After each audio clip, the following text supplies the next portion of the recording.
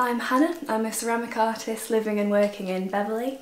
Um, I create hand thrown and hand decorated ceramics using a process called slip trailing which is piping on slip onto the surface like icing. I picked up ceramics in 2015 when I was um, doing an art foundation course. I had a couple of workshops in ceramics and I just fell in love with the clay, fell in love with the process. To create one of my pieces I'll start on the wheel so after preparing some clay I'll throw the form. So that's just the first stage, which is throwing, is the shaping of the clay to start with.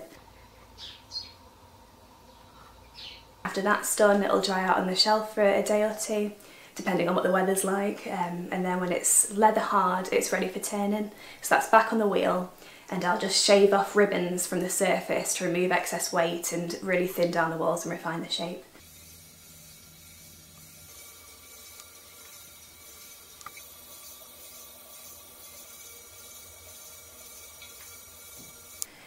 um, and then it's decorating.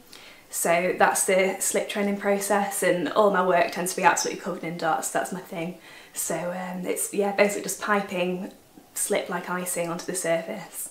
Um, and then at that point my work's really really brittle, it dries out very quickly to bone dry stage. So when it's bone dry they'll go into the kiln for the first firing um, and that goes to about 1000 degrees and it turns the clay into a ceramic form um, but it's still porous at that point so you can dip your pot into glaze and then back in the kiln again and it goes to 1220 and then when the kiln's open then, then you've got your final pieces. My first professional exhibition was in 2018. Um, I had one little pot in a gallery in London which was quite exciting and that was the, the first one and then last year in February I was part of the open exhibition in Hull at Ferens Art Gallery. Since then I've sold work through my website to countries all over the world and um, yeah it was, it was brilliant.